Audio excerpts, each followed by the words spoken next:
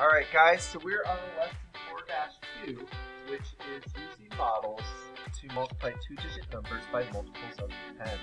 So this very first one is asking us to draw an area model to show 20 times 26, and then using that area model to find the product.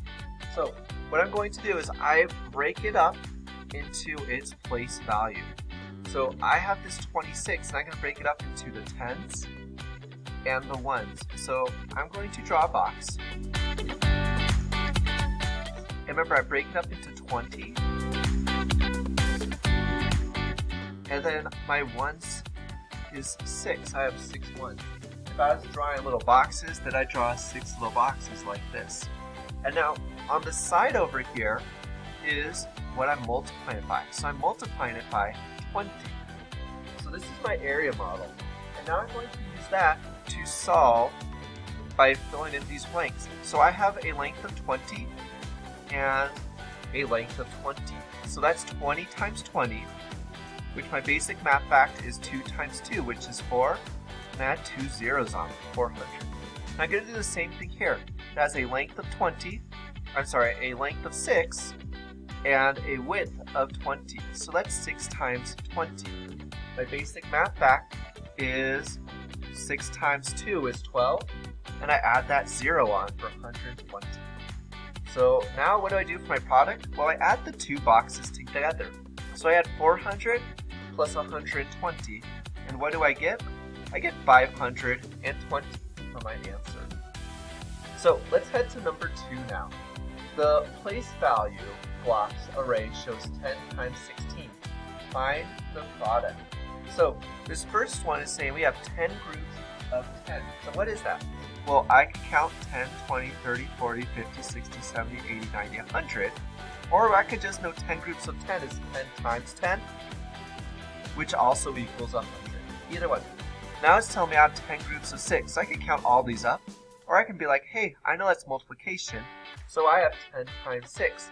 And I know 10 times 6 is 60. And now what I do? It says I just add them up. So I get 160 for my answer. So let's head on to our next part. Down at the bottom, it's saying use place value blocks, area models, or arrays to find each product. So let's start with this one right here first. 10 times 22. Well, this is showing me that there's 20 up here and 2 right there. And what's on the side? Well, it has a side of 10. So now I just multiply and find out what these equal. 20 times 10 equals 200 and 2 times 10 equals 20.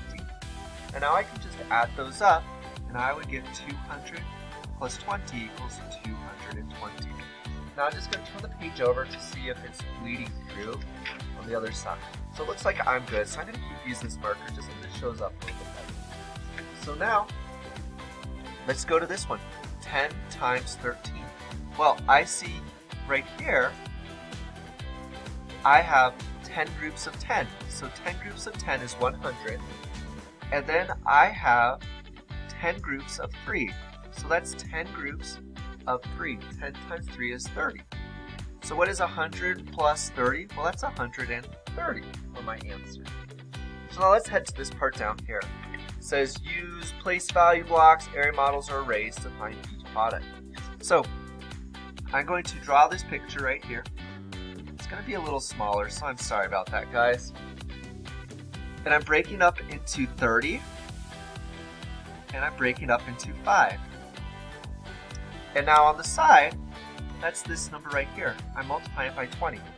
20 times 30 is 600, and then 5 times 20 is 100. So now I add those together. 600 plus 100 equals 700. So let's go on to our next one. So this next one, I'm going to do the same thing. I'm breaking up into 40, and I'm breaking up into 1 from that 41. Now the side is 20. So now what do I do next? Well, I have 20 times 40 is 800, and I have 20 times 1 is 20. So what do I do? Well, I add 800 with 20, and I get 820. So now let's do my next part. 29. I'm breaking that up into 20 and 9, and I'm multiplying it by 30. So I have 20 times 30 is 600. 30 times 9 is 270, and I add those up. 600 plus 270 is 870. Now let's go on to our next one. 40 times 37. So again, I'm breaking up into my tens place value and my ones place value. And I'm multiplying it by 40. So I have 40 times 30 is 1,200, and I have 40 times 7 is 280. So now let's add those up, and I get 1,480. So we got this down, so I'm not going to draw my models for this, for this next one. So I'm just going to break it up into my two place values of 70 times 10, which is 700, and then 70, or 6 times 10, which is 60. So I get 760. And this part right here is similar to this kind of model that I'm doing up here. So now I have 50 times my first place value is 10, which is 500. And then I have 50 times 2, which is 100. So when I add those together, I get 600. So now let's head on to our next one, which is 7, because I'm using my 7s back. So we have 70 times 20, because that's my place value here, which is 1,400. And then I have 70 times 9, which is 630. When I add those up, I get 2,030. So now on for our last one. I'm going to do it in marker. We have 80 times 40, and then we have 80 times 3. And so what do we get with those? Well, this first one is 3,200. And then my next one is 240. So I had to change to marker, or get out of the marker because I wasn't going to have enough room, I realized. So when I add those together, what do I get? Well, I get 3,440. Alright, let's head to the backside now. So here's our backside, guys. So let's get started.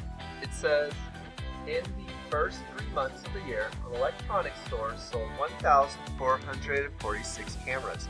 How many cameras did it sell in March? Write and solve an equation. Well, looking over here, I see how much it sold in two months, so I need to figure out what it is. Well, I know altogether, and I'm going to, it sold 1,446, so that's its it started with. And we need to subtract, we need to take away how much it sold in January, how much it made in February. Oops, but it wasn't a 4, it was a 3. And so now, what do I do? Well, that's going to equal my March or my C for cameras. So I'm going to rewrite it for us. 1,446 minus 486 minus 385 equals C for cameras. I could do M for March, whatever I want. That's my equation. Notice how I have that equal sign. Now when I subtract, what does C equal? Well, C equals 575. So in March, they sold that cameras.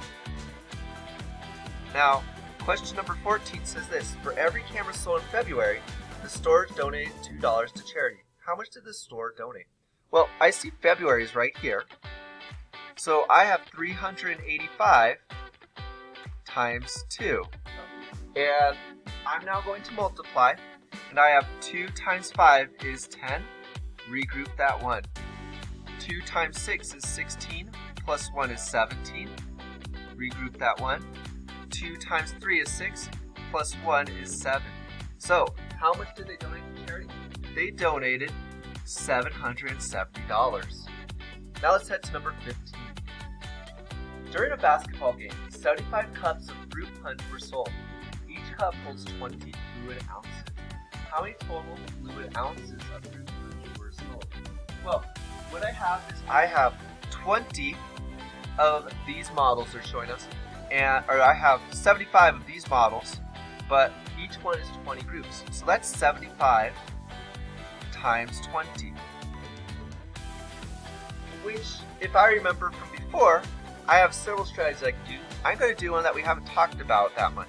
I'm going to ignore this zero and just do 2 times 75, which I know my quarters, 75 plus 75 is 150.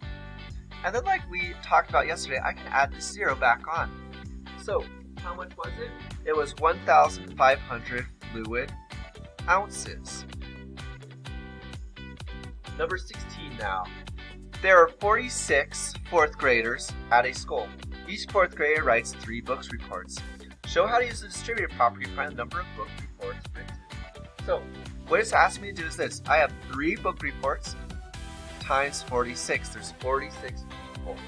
So how do I use that distributed property? Well, remember my distributed property is I multiply this 3 by every place value. So what is that going to look like? It's going to look like this. I break that 46 up into 40 plus 6. And then I use that 3 and I distribute it to the 40. So I'd have 3 times 40 plus 3 times 6. So now I just solved that. So that's going to be 120 plus 18. And what is that when I add that together? Well, that's 138 book reports. Just because I want that label as well. Okay, let's head to number 17, our last one. Angel sold 15 magazine subscriptions for $30 each. Walt sold 22 subscriptions for $20 each. Use arrays or area model to explain who raised more money. Well, I really like that area model. So I'm going to do 30 times 15. So I'm going to break that up into my tens.